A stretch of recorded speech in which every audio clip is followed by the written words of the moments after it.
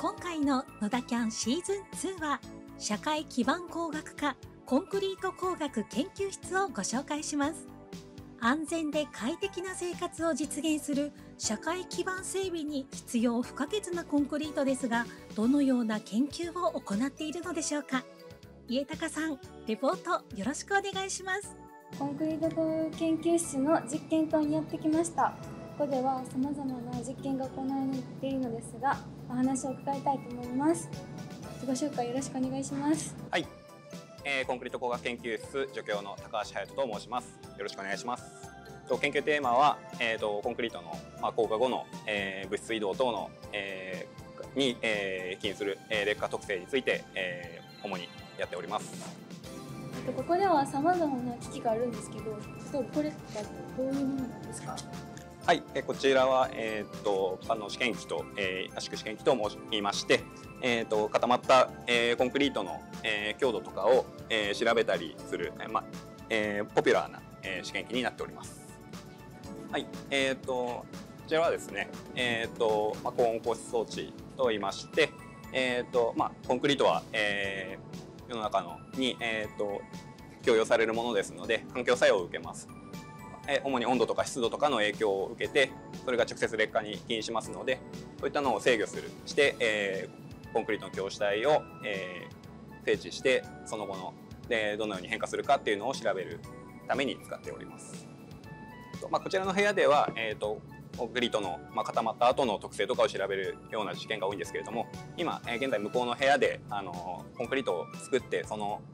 作ったコンクリートの、えー、固まる前の正常を調べる実験をやってますのでぜひあちらの方に移動していただければと思います。では。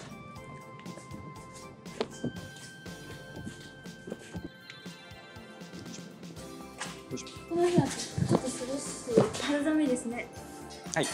ここは、えーとまあ、製造していろんなコンクリートの正常を調べる、えー、部屋になってるんですけれども、まあ、安定したデータを取るためにも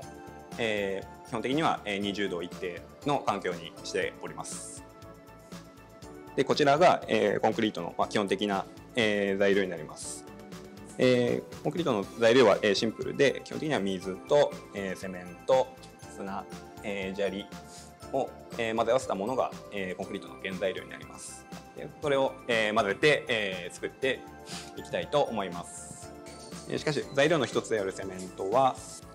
材料製造時に二酸化炭素を大量に排出してしまう、えー、材料ですので、えー、それらを、えー、減らすことこそが、えー、脱炭素につながるということで、まあ、現在は、えー、こちらは、えー、製鉄所から出る産業廃棄物であるコーロスラグと呼ばれるものなんですけれども、まあ、そういった材料も、えー、セメントに加えて、えー、コンクリートを製造できないかっていうところも、えー、環境過低減のを目指すために、えー、そのような、えー、研究も行っております。じゃあ、えー、お願いします。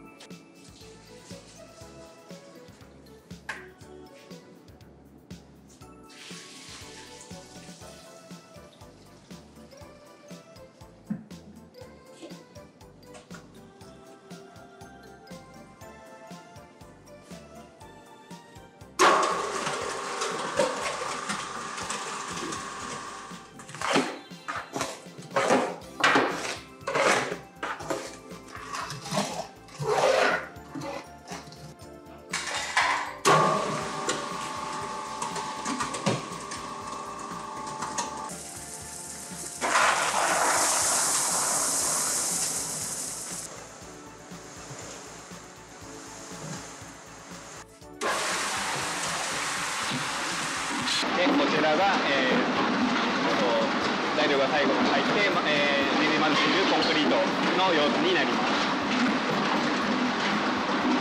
均一になるようにミキサーでしっかりと発散していきます。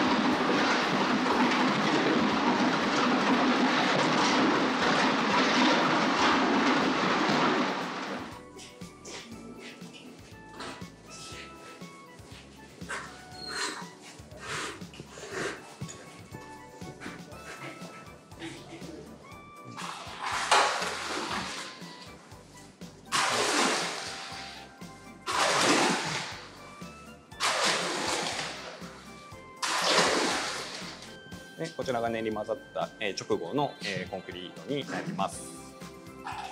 でまあ、皆さん固まった後のコンクリートを多く想像されるかもしれないですけれどもこのように固まる前のコンクリートというのは、えー、まるで生き物のように、えー、柔らかい、えー、ものになっています。でその、えー、柔らかさとの正常を、えー、調べていく試験を、えー、やってもらっていますので、えー、ご覧ください。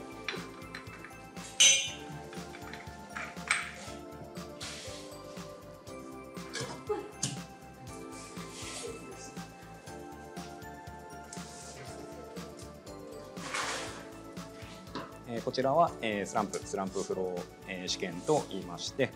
ちらのコーンに詰めた、えコンクリートが、えどれぐらい、え広がるのかっていう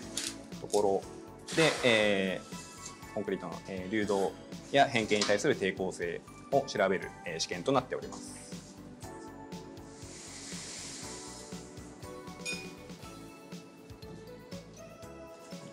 でこのように、えー、ここに広がった直径の長さを指標としてコンクリートの柔らかさ流動性を調べております。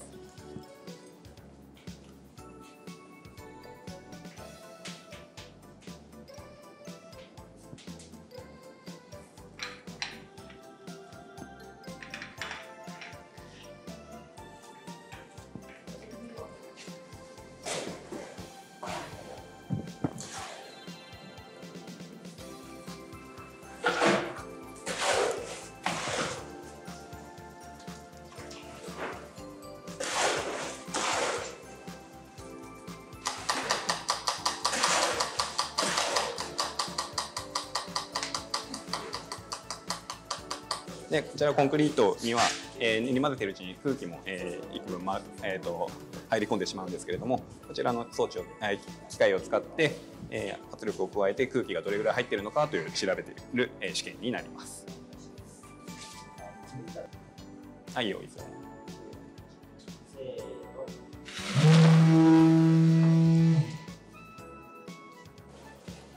でこのように固まる前の、えー、コンクリートも、えー、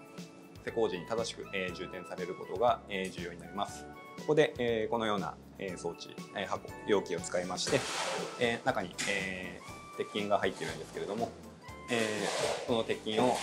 え、通過して適切に充填できるかどうかというのを、え、このように通過した時の速度であったり、え、通過後の、え、コンクリートが、え、均一に来ているかどうかっていうのを、え、どれぐらい、え、砂利が、え、このえー、手前側に来ているのかっていうのを、えー、測定して充填性があるかどうかというのを、えー、調べる、えー、試験になっています。このように、正しく充填性を持ったコンクリートでないと、えー、良いコンクリートは作れないということになりますので、えー、このような正常評価は重要になります。野田キャン今日は見学ありがとうございました。先生の中でそのコンクリートを作成するにあたって一番重要だと思うことは何ですか、まあ、さっき、材料を見せたんですけれども、あ、もちろん材料としてはあの、まあ、セメント以外はもうあり溢れてるもので、えー、作ることは、まあ、できるんですけれども、まあそのえー、微妙材料の微妙な物性値でもあの全く違うコンクリートが、出てくるってことも、ありますので本当にいかに、えー、そういったところも把握して、まあ、真心を込めてコンクリートを、えー、いいコンクリートを作ることが、まあ、重要なのではないかなと思ってます。と私はその生命生物科学科で日々その生物科学の各分野とか領域を統合した研究をしてるんですけどここの、えっと、研究実験とかで何を目標に実験日々実験されてますか？まあ、やはり我々、まあ、土木社会基盤工学科としては、えーまあ、土木構造物を、えー、のために、えー、研究してますので、まあ、こういった、えー、基礎的な、えー、物性そのものが、まあ、人々の安全に、えー、つながるんだっていうことを日々自覚しながら、えー、研究して、えー、やっています。今日コンクリートの工学の見学をさせていただいて、まあ、高度な教育によってその基礎力を習得するとともに応用性だったり実行力を養いながら社会に貢献できる人材育成を目指していることが分かりました本当に貴重な機会ありがとうございましたはい、ありがとうございます。まあ、ぜひ橋とかトンネルとかを通るときに今日の経験を、えー思いを馳せながらちょっと通ってみると嬉しいです。コンクリート工学研究室は未来のインフラを支えます。せーの、野田キャン